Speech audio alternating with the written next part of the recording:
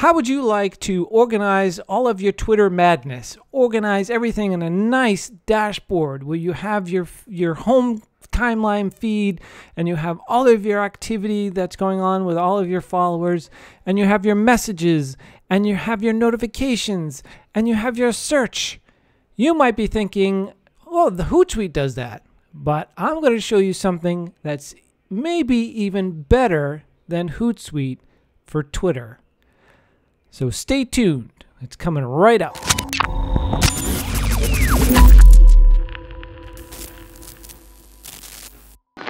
What's going on, guys? My name's Larry Snow, and in today's video, we're going to be taking a look at something that I have not looked at in probably seven years, and that is TweetDeck. And I am pleasantly surprised. Now, TweetDeck is something that I was using very early on in my days of Twitter. Going back to 2010 was probably the last time I used it because I just whoop switched over to Hootsuite and I've been with Hootsuite all along, uh, dipping my toes into Buffer here and there, but primarily I'm a Hootsuite guy. And uh, I don't know, I just something occurred to me. Said, what about TweetDeck? Whatever happened with TweetDeck? So let's take a look at some of the awesome features that TweetDeck has for you. So in the TweetDeck dashboard, you have multiple multitude of options that you can add to it. All of these columns are separate things.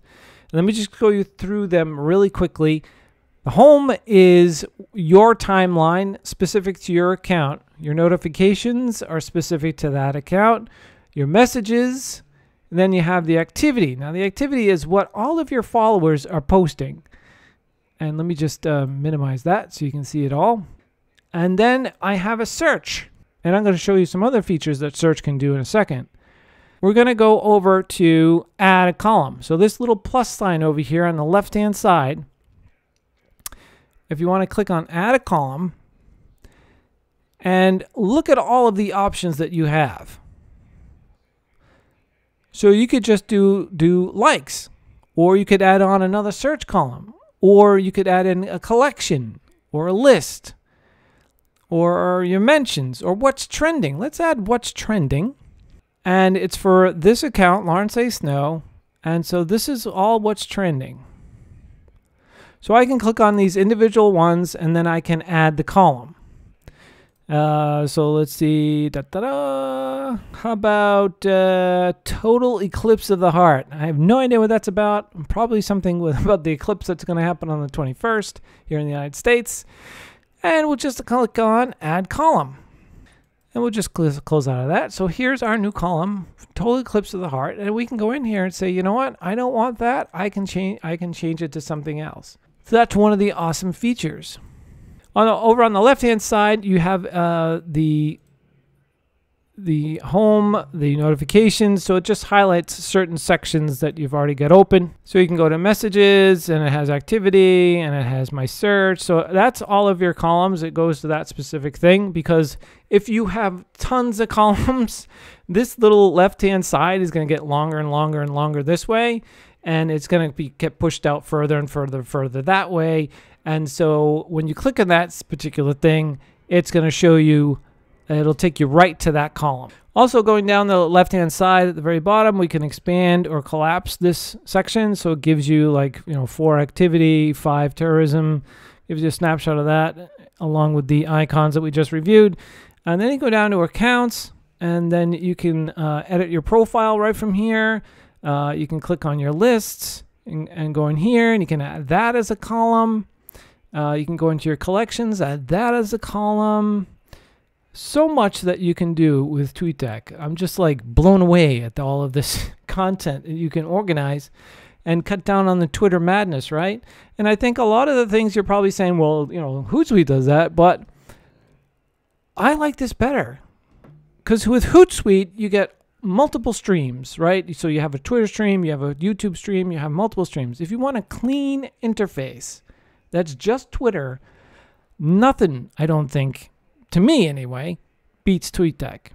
So here's where the fun part comes in. I think it's a lot easier to do in TweetDeck. You can do the same thing in Hootsuite, but it's a lot easier. Let me show you.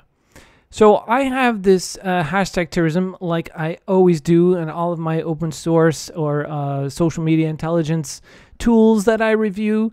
And I always have hashtag terrorism just as a baseline, nothing more than that. So here it is, hashtag terrorism. And I click on the uh, little icon there. And if you notice, I have location within 20 kilometers of the city of London. Here's what I can do.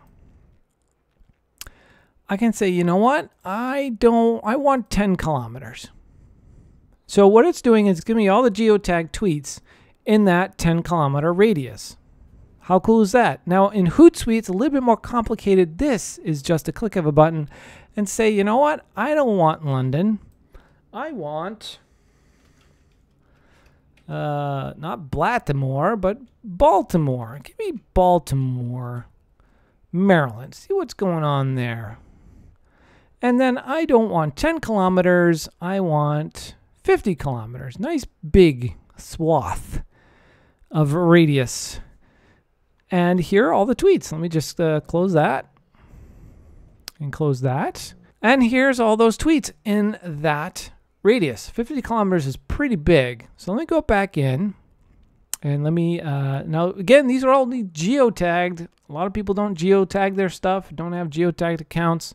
So potentially, you know, your the, the tweets that you might be looking for from an investigator standpoint or a social media intelligence standpoint might not necessarily be there, but still, this is super easy. So what do you think? Is this something you're going to now use? I bet you will. If you have not used TweetDeck in a long time, like I haven't used in a long time, you're going to be quite surprised at how efficient this is, how quick it is, connected to Twitter, the fire hose, Everything's right here displayed for you. It's just awesome. This is this is what I have up on my second monitor at all times. With Cyph and TweetDeck, I'm all set. So let me know what you think about TweetDeck. Have you tried it? When was the last time you tried it? Are you going to try it now that I've mentioned it and brought up all the awesomeness that it has? Let me know in the comments below. If you like the content and you like what I'm talking about, give it a thumbs up. And don't forget to subscribe if you're new to the channel. If you want to know more about me, go to larrysnow.me and I'll see you in the next video. Bye!